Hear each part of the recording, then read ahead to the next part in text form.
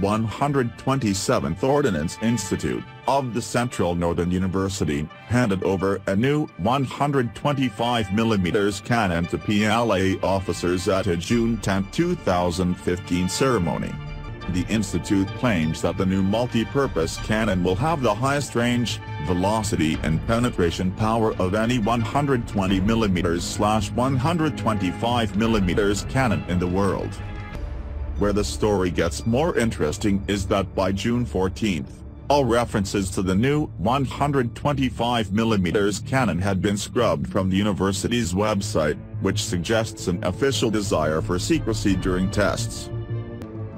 This multi-purpose cannon reportedly has a muzzle velocity of 2,000 meters per second for armored piercing fin-stabilized discarding sabot rounds, whose discarding sabot concentrates the kinetic energy from propellant into frontal area of the penetrator rod. For comparison, current Chinese 125mm Zapfs have a 1,700 meters per second muzzle velocity, the German L-55 has a muzzle velocity of 1,750 meters per second, and the US's M829A3 AFS round has a muzzle velocity of only 1,555 meters, but uses a larger penetrator with increased mass to increase imparted kinetic energy. The 125mm multi-purpose cannon tech demonstrator will be delivered to a PLA testing and proving ground.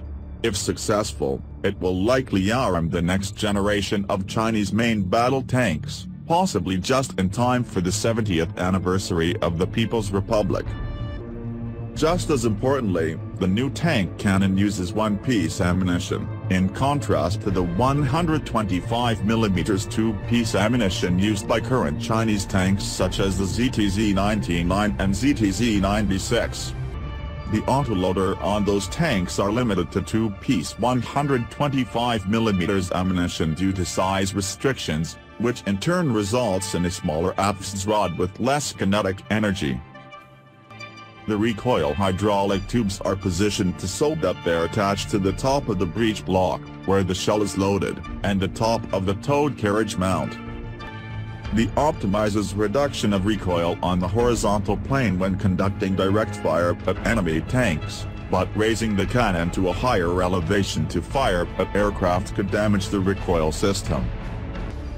The multi-purpose cannon's high velocity gives it enough energy and range to theoretically take on anti-aircraft roles. More plausibly, the multi-purpose cannon could provide indirect fire support with cannon-launched missiles and shells for Chinese forces, such as distant, network infantry units calling in strikes on enemy positions much as China is making high-profile investments into new generation technologies battlefield robots, drones, infantry exoskeletons and smart missiles, it's also making great improvements to current military technology like tanks. The new tank cannon is yet another example of how Chinese forces will be far better equipped on any the battlefield of the future. While new tanks like the Russian Armata and Turkish Altay are taking the spotlight in the world of armored vehicles, China has a new tank gun that might just beat them all.